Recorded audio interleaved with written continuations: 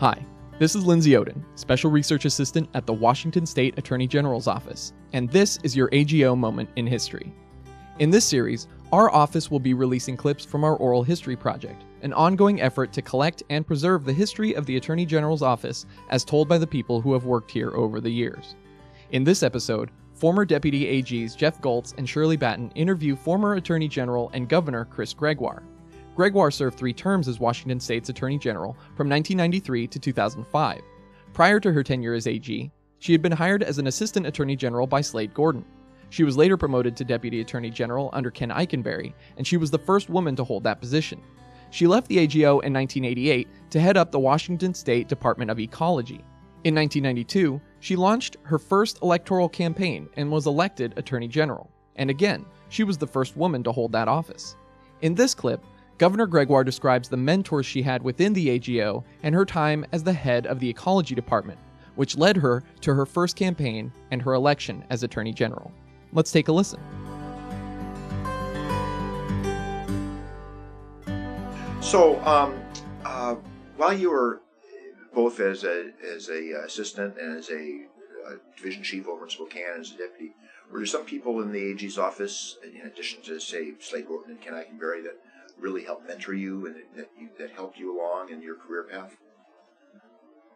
Um, well, when I was in Spokane, Bruce Clausen was my number one mentor. Um, he was responsible for implementing the new state law with regard to dependency and termination cases. And, and he was a lawyer with the DSHS division in Olympia. Seattle. Seattle. In Seattle, right. And so he was kind of put in charge of making that happen. Um, and so he was a constant mentor uh, for me in trying to implement that and so on and so forth. And as we began to explode in terms of the numbers of cases and then began the process of opening offices and so on, that was Bruce. Um, a guy who was always there for me. I mean, there are a lot of mentors, to be perfectly honest with you. When I ended up doing some tort cases, uh, you know, came over. I'll never forget him trying to explain to me, you know, there's like two robots, and your job is to get the other guy down. and, I, am like, oh, okay. And then he left and went to a swimming pool. And I thought, this is my advice on my tort case. But he was right. Yeah. He was right. Um, uh, and Mackey, Ed, he was my mentor from the beginning. Actually, the beginning. Uh, and it got so that I would call him and say, okay, I, I know you don't have time for me. And how he ever had time, I don't know, from Spokane. But he never, ever refused or failed uh, to take my call and to help me out. But he has been a long-time mentor of mine, and I couldn't thank him enough. He's been amazing for me. We're going to be interviewing him in a month or so. Good. The uh, we'll ask him about you. Okay. So, uh, so then um, you were uh, you supervised the number of the resource divisions: natural resources, ecology, fish, and wildlife.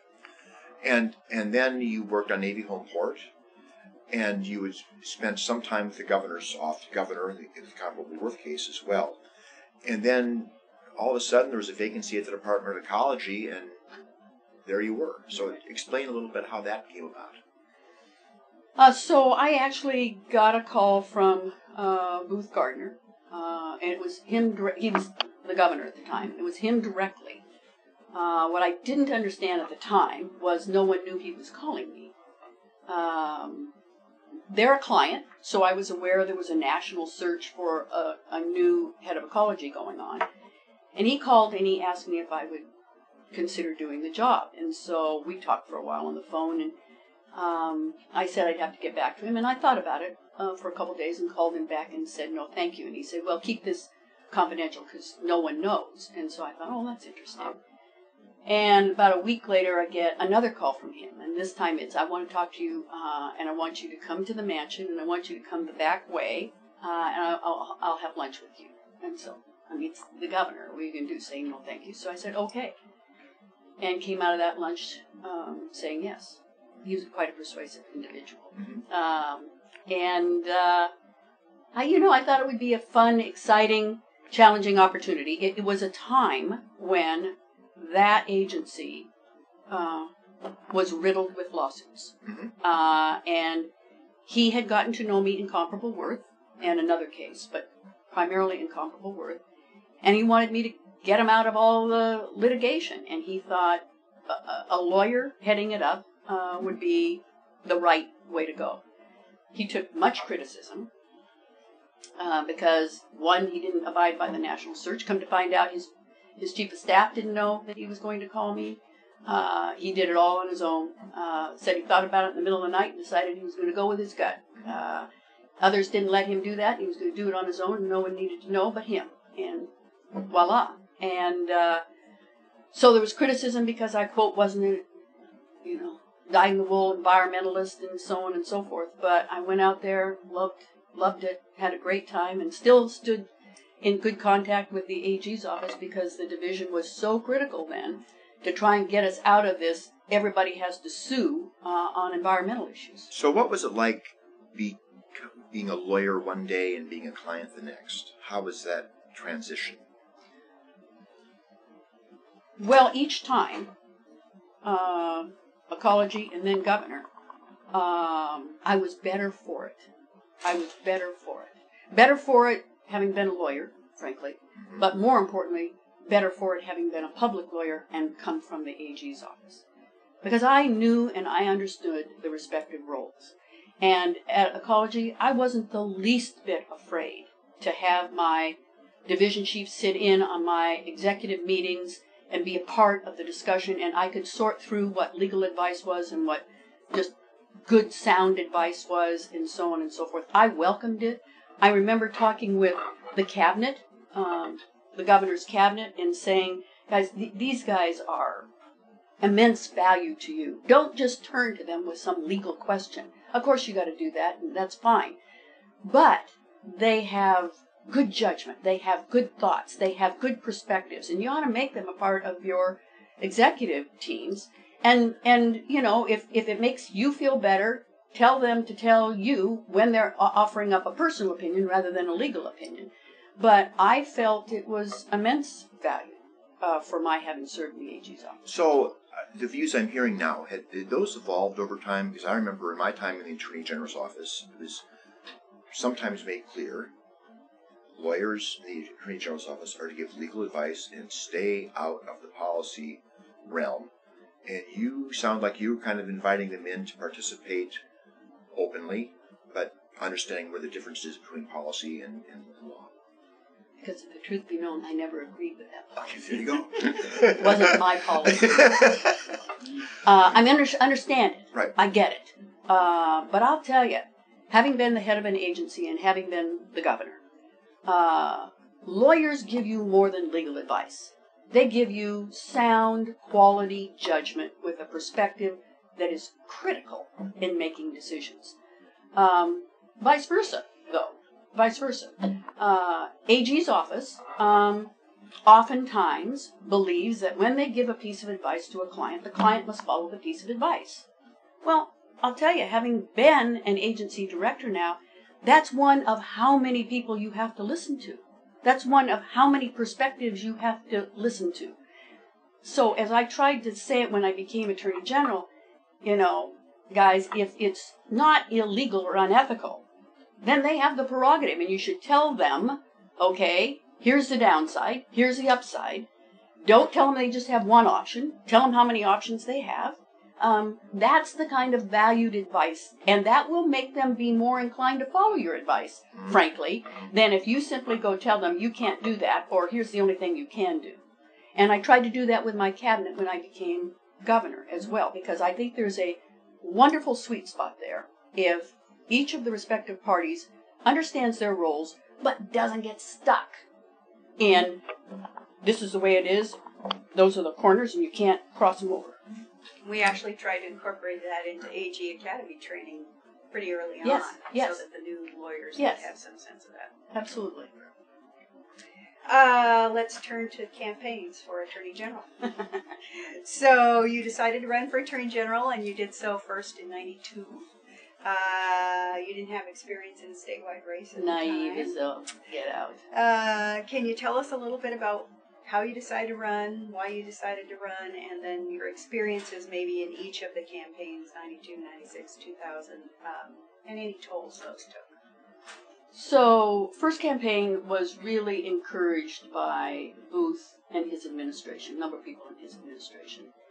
And uh, amazing meeting one night uh, at um, Dean Foster's home uh, with Dean and his wife there, and Denny Heck, um, former treasurer of the state, Booth, and so on and so forth. Kind of explaining to me what it was like to be a candidate and so on because I had no idea. Uh, this was my first run statewide. This was my first run, period, Yes. since True. True. college. Um, so thank thank goodness for naivete, because had I known, I probably wouldn't have run, but I didn't know, and so I thought, what the hey, I'll give it a go, and did. Uh, and I look back with the absolute fondest of memories from that election in the general, not the primary. The primary wasn't a very comfortable primary. Um, Because you had primary opposition in the Democratic I Party. did. I did. Uh, a pros- I, I had a prosecutor uh, who was pretty, you know, feisty. Let's say that. And the general election was just a first-rate prosecutor, and he that wasn't his style. That was Norm Maleng. Norm Maleng. And uh, we went at it. We respected each other. Uh, and when we were done, and when we were done, we became dear friends. And we weren't friends before that. We became friends as a result of the campaign. I spoke at his eulogy, and that to me is what campaigns should be about. Now, I've never had another one like that since, but that to me is what campaigns really should be about. Uh, when asked in debates, you know, what did I think of him? I gave him high marks and respected him and said the public can't lose in this election.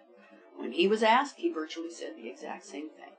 Um, that to me is what campaigns are about. So that was 92. 96 uh, and 2000 uh, it was a odd, uh, it was a, one single individual who, oh, had a lot of personal problems and uh, perennial started with me, but then became a perennial candidate for anything and everything. And so we're weren't much by way of races, to be perfectly honest with you, which was not good for me because I got lulled to sleep, and then along comes the race for governor, which is a whole different world.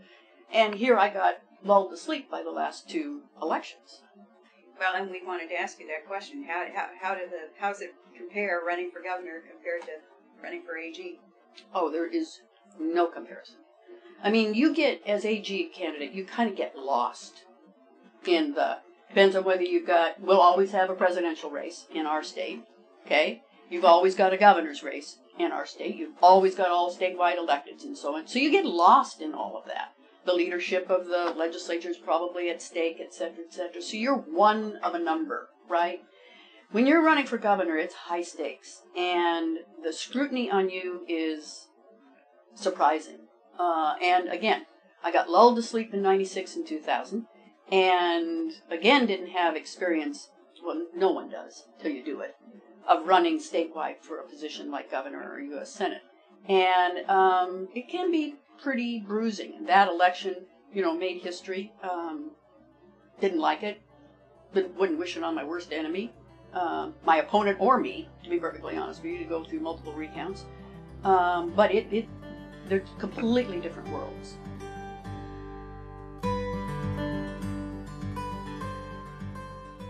Thanks for listening to this AGO moment in history. Be sure to like and subscribe to receive updates when we upload a new episode. On our next episode, Governor Gregoire talks about transitioning into her role as Attorney General and how she managed a rapidly growing office. Thanks, and talk to you again soon.